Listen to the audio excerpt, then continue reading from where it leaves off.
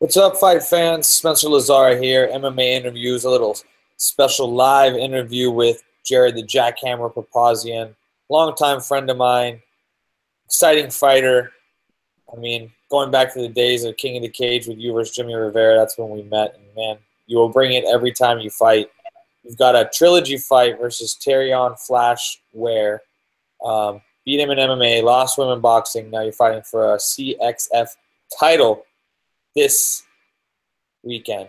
Talk about the fight, man. Yeah, you know, uh, it's going to be a big fight. You know, I'm fighting Terrion for the third time. Um, we both been uh, having a little rivalry for the last four years. I uh, first fought him back in uh, 2013, my first fight coming back out from the UFC. I won a unanimous unanimous decision, and uh, he's been on a tear uh, in the regional scene and also fighting for RFA title, Tachi title. So he's been killing it. So um, and then also we fought in boxing and he beat me in boxing and now we're back to fighting again. How did that boxing match come to, to happen? Because um, you know, I know you were doing some boxing. You were you had a couple fights in boxing. You know, he, he likes to box, of course. So it's just kind of crazy though. Two MMA guys going over into boxing and fight. Yeah, you know, uh, I took a year off from MMA to focus on boxing. I was coming off two two knockouts in uh, boxing, and uh, I guess he was supposed to make his boxing debut, and his opponent dropped out. So I got a phone call on four or five days' notice from Ed Holmes, who's a good friend of mine, and uh, asked me to fill in if I was willing to fight Terrion on a couple days' notice, and I said, "Sure, let's do it." Nice. Um, so back to MMA now for this third fight, and you know, in some senses, I guess it's, a, it's such a different thing. It's hard to even really call it a trilogy. But fact is, you guys will have fought three times after this. So, I mean, talk about going back to MMA though versus uh, and how much he's changed. You know, I know he, you know he probably learned a lot just from the fight against you, and of course, like you said, he's been on a tear, winning you know a number of fights and and you know, I know he believes he should be in the UFC. You've been in the UFC. I mean, talk about what this fight means for both of you as well. I believe there's a lot of eyes on this fight. Um, like he's on a three-fight win streak. Um, he's one of the top uh, bantamweights outside the UFC. Fought RFA, um, fought for the title. So um, he's always came up short. But um, I'm on my way back. I feel like I'm on a two-fight win streak. I beat I beat some notable names, and uh, he was supposed to fight Chris Beal, and for some reason that didn't happen. I was supposed to fight Willie Gates, and that didn't happen. So they decided to put us both together. So uh, let's do it.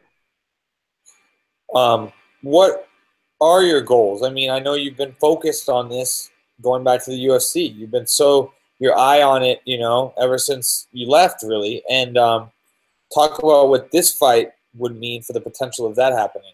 And then, of course, we also mentioned, you know, the PFL opening and some interest in there. And, of course, Bellator's there and growing as well.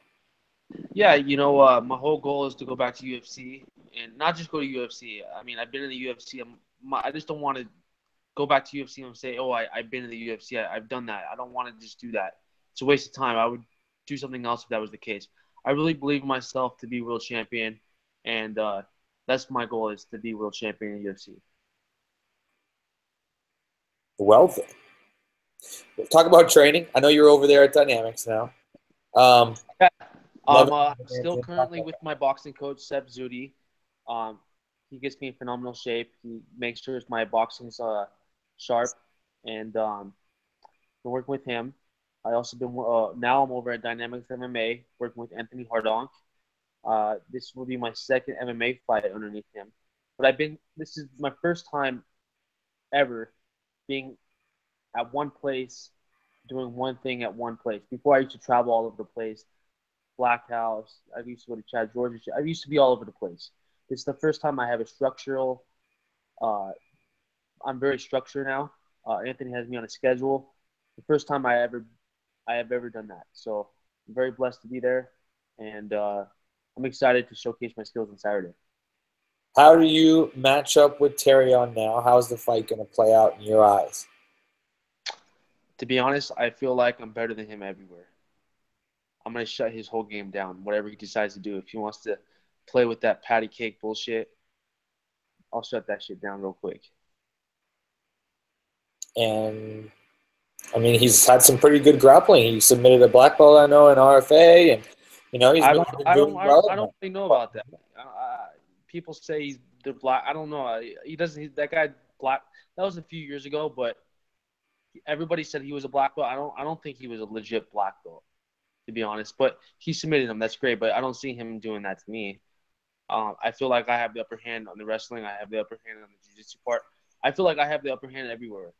So I, I will I will dictate the fight wherever it goes. I'll decide. I'm definitely looking forward to it. I know both of you guys are going to bring it. I, I expect more of a stand-up fight, but hey, it's MMA. You never know what's going to happen here. So, um, anything else you want to say? You know, leading into this fight Saturday night, right? Yeah, Saturday night. I'm very fortunate to, to be on the card. I, I want to thank George uh, Basmajian um, for having me on the card.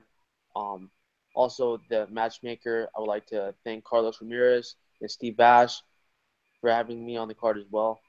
Um, I'm excited. You know, it's been a long time coming. I'm 29 years 29 years old. Uh, I've been doing this for professionally now. Will be nine years in June. So uh, I've been in the game for a long time. I feel like I paid my dues, and I honestly feel like I'm too, not too good, but I, I don't. I, I, honestly feel like I don't belong in these small shows, even though they're they're, they're great opportunity for up and coming guys. But for me, I feel like I, I, I feel like I'm surpassed that, and I, I believe being in a bigger show would, would be better. Well, looking forward to it. Sportsman Lodge this Saturday night. Can anybody watch it live? Is there a way? Is there... Yes, on Sherdog.com. That's right. And then you can you, then you can kick, uh, click the uh, the live stream CXF7 for the live stream. And also, yes. I'd like to uh, mention uh, my uh, sponsor, Lou Dryer, for sponsoring me for this fight. Thank you so much. And uh, that's about it. Thank you, Lou, for uh, thank you, Spencer, for having me and giving me this to uh, to talk to you. I think Lou too. She even hooking up uh, Lordzilla, who's supposed to fight this Friday night on um, Lion Fight. So. Oh yeah. Yeah. That'll be good. And Lou's awesome taking care of you guys. Awesome. Yep. So it's necessary to make this dream work. Teamwork, make the dream work. All right, Jared. Thank you for the time. Look forward to it. Saturday night, title fight. Thank you.